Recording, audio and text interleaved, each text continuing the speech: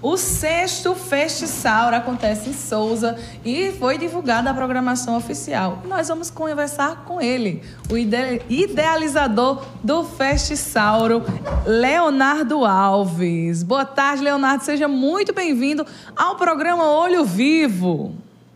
Muito boa tarde, boa tarde a todos vocês de Olho Vivo, boa tarde a Petson, a toda a bancada é, da TV Diário do Sertão é, que aqui era retransmitida pela nossa querida líder FM da cidade de Souza. É um prazer imenso estar aqui com vocês, é, sendo entrevistado e falando um pouco de cultura.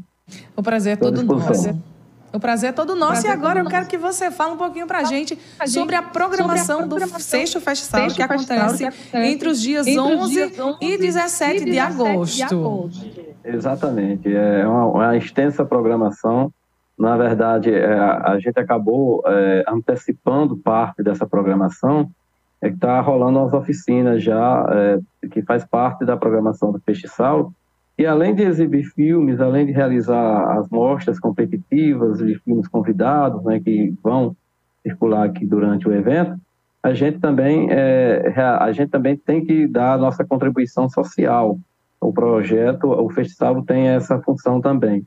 E dentro do festival está acontecendo uma oficina de, de Libras, né, de introdução à linguagem de sinais, Libras, e também é, uma oficina é, é, de, de, na área né, de, mais específica de atenção atitudinal, que é também uma oficina que as pessoas, para trabalharem com pessoas com deficiência, e essas oficinas muito voltadas para as escolas, para os alunos da, da UFCG, que está ocorrendo por lá, e ela, inclusive, se encerra hoje. E a partir de segunda-feira, aí sim a gente começa com uma programação, com várias oficinas ocorrendo em escolas públicas, a maioria, onde vão acontecer, e também já com exibição de filmes na rua, né? nós teremos é, é, o pavão, o Mistério do Pavão Misterioso, que é de Silvio Toledo, sendo exibido já em um bairro periférico que é o Souza 1, e toda a sequência da programação.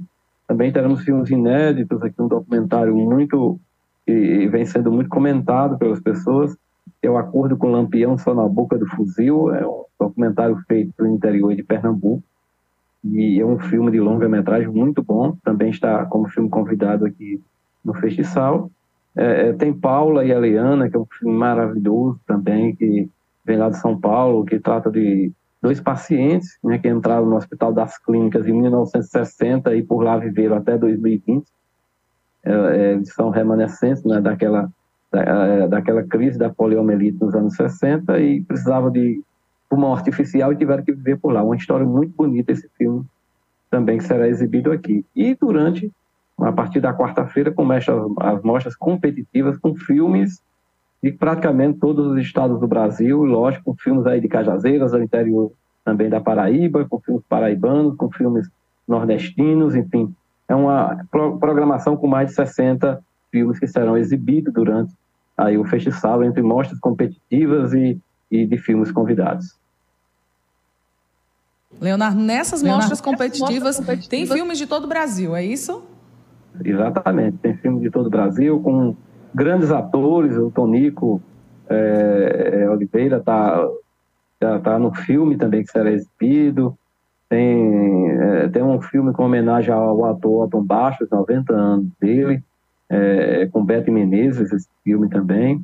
Tem filme com, com os Cajazeirenses Buda Lira, tem filme com, com Nanego Lira, tem filme com Zé Cita Matos e com vários outros é, é atores brasileiros é, nós temos produções aqui de São Paulo, do Rio Grande do Sul, de Santa Catarina, da Bahia, de Fortaleza, do Ceará, enfim, de todos os estados praticamente do Brasil, do Distrito Federal, de Goiás, é, todas as regiões do, do, país é bem representada. E a gente tem um, a nossa programação também é muito voltada para as escolas públicas, né? Tem mostra de cinema para a criançada pela manhã, é, uma mostra tarde mais para os alunos das escolas de segundo ensino médio. Então, é uma programação bastante diversificada.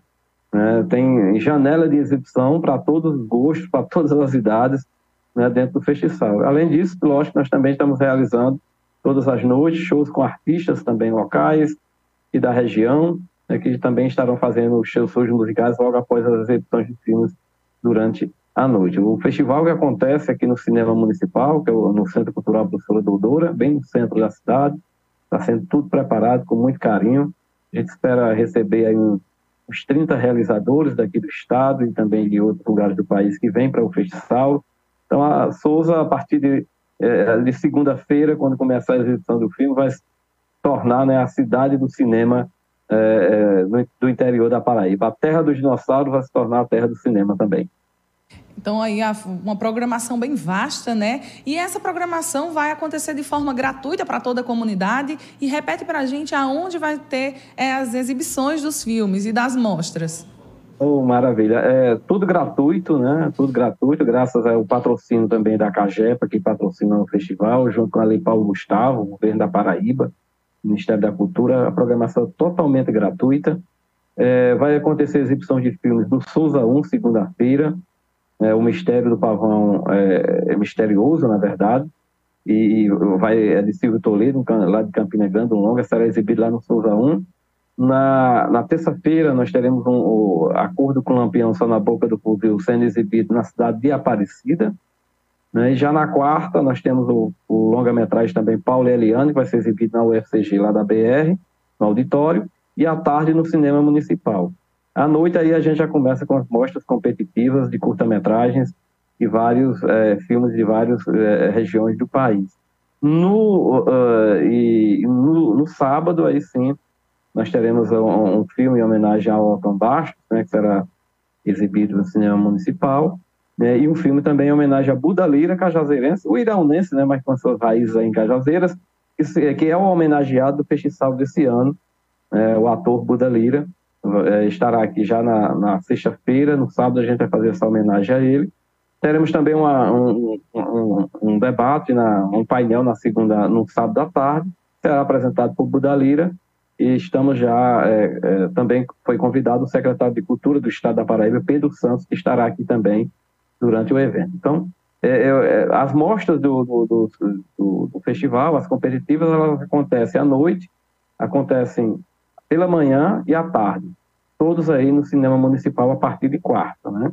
Já as mostras itinerantes, elas acontecem segunda, terça e também quarta, manhã e tarde, né, onde o público pode acompanhar na UFCG pela manhã na quarta, no próprio cinema municipal também na quarta tarde, quarta noite já tem a mostra competitiva, o Souza 1 terá exibição de filme na segunda-feira, e na terça-feira eh, nós estaremos lá em Aparecida, na Casa da Cultura, exibindo Acordo com o Lampião só na boca do funil. Então, uma programação vasta, eu convido toda a região, todo o sertão da Paraíba, né, que se possa vir para Souza, né, ver o melhor do cinema nacional, do cinema alternativo, uma programação muito rica e que é totalmente gratuita. Né? Além disso, nós, como eu já disse, teremos shows musicais todas as noites após o término das mostras.